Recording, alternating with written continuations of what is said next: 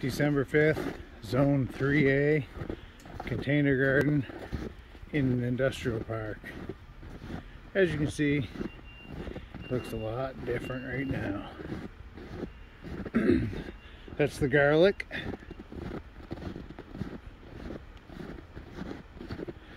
I've added more bins,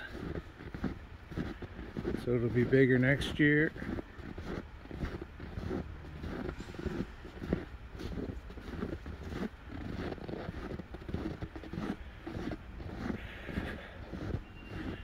This was the strawberry bin. It's going to have flowers this year, just flowers.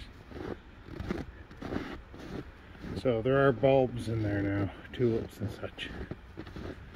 And that's it. Zone 3A Container Garden, December 5th.